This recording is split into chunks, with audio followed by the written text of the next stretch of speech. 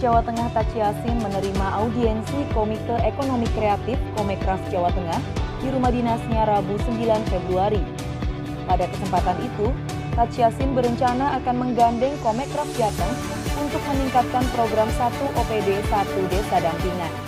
Kepada kawan-kawan Mekraf Jateng saya ucapkan terima kasih ya masukannya pemaparannya tadi. Dengan pemaparan ini saya akhirnya ingin mengembangkan program Pemprov yang saat ini diambil yaitu satu OPD, satu desa binaan. Komekraf juga dapat memberikan rekomendasi pengelolaan desa dampingan yang menjadi fokus pemerintah tahun ini.